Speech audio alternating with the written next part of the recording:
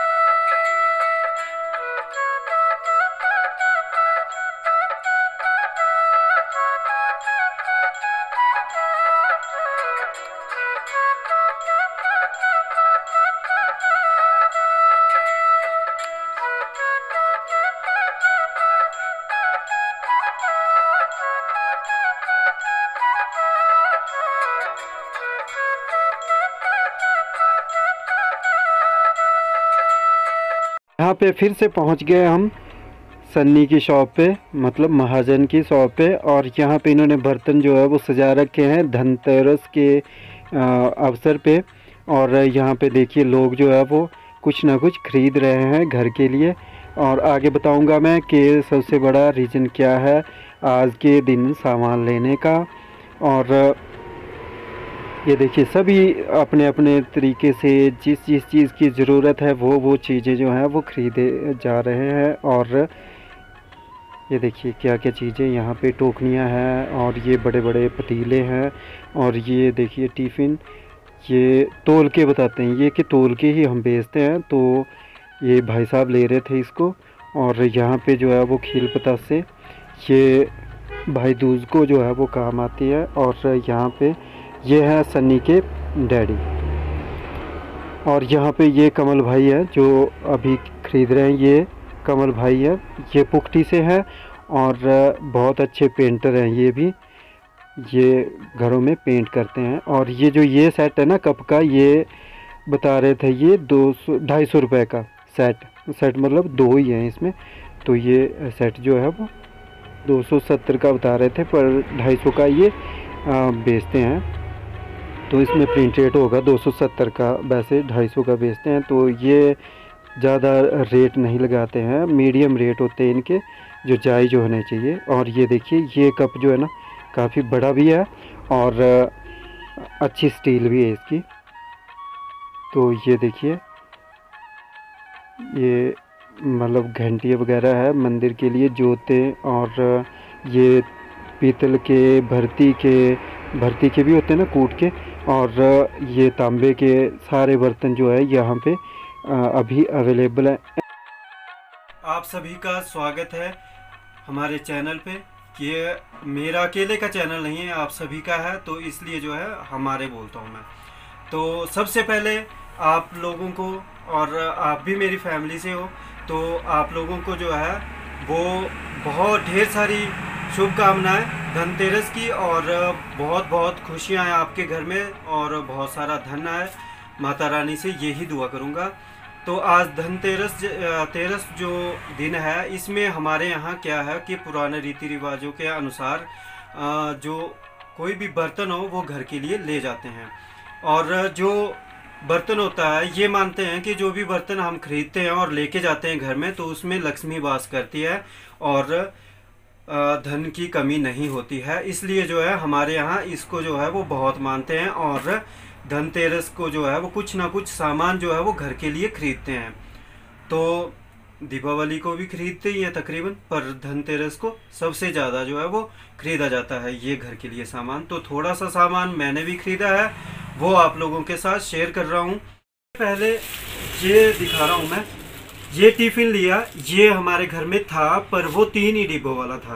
तो ये छः डिब्बों वाला, एक, दो, तीन, चार, पाँच छः तो ये लिया और ये पड़ा हमें तीन सौ तीस रुपये का। ठीक है? ये हो गया जी। और हमारे घर में चीनी मिट्टी के ही कप होते थे।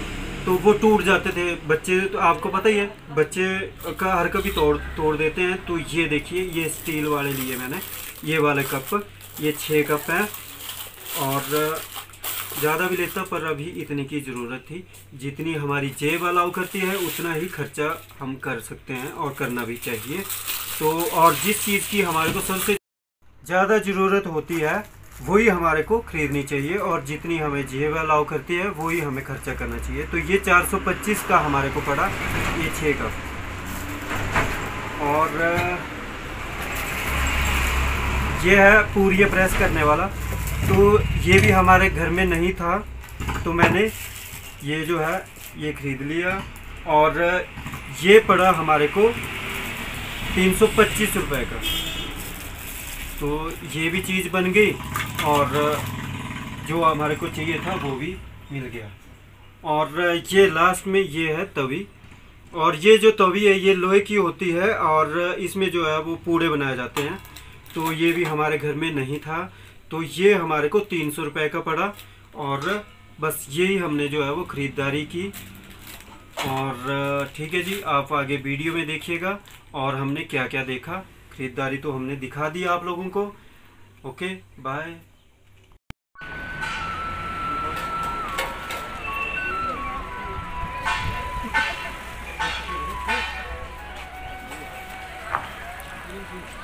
हाँ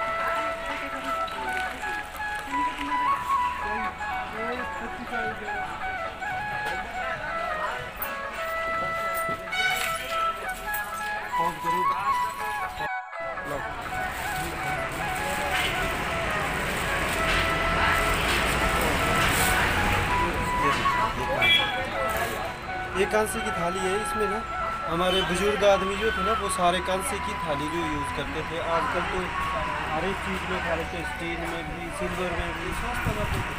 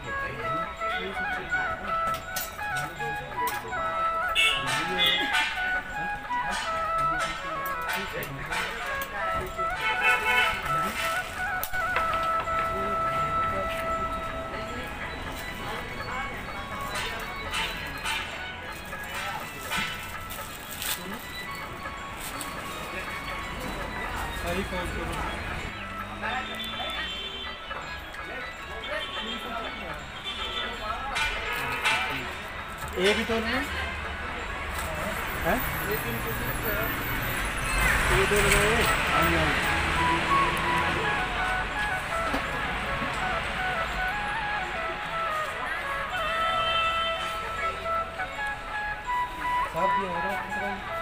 हाँ।